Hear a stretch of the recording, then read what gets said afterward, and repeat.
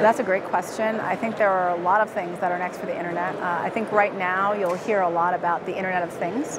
And so connecting people in many different ways, um, use of sensors in terms of making everyday life uh, hopefully better.